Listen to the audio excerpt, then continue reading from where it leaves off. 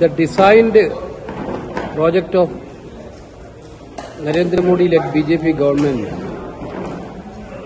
has been convened to force as a disqualification of Rahul Gandhi as a parliament member. The day when Rahul Gandhi raised question on Adani against the Prime Minister, that point of time they start this type of conspiracy to silence the voice of Rahul Gandhi. The ministers of Modi government several times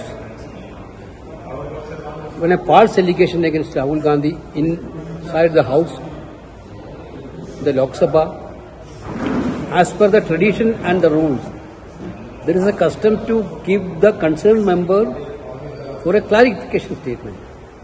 That also they never allowed, they never allowed to pick out. This is a clear case of anti-democratic dictatorship attitude of BJP Sarkar. They are now putting Rahul Gandhi as like Abhimanyu. Four corner they are cornering with conspiracy once they sent ताज़ा updates और बड़ी खबरों के लिए subscribe करें आज Prakash TV और bell icon दबाना ना भूलें।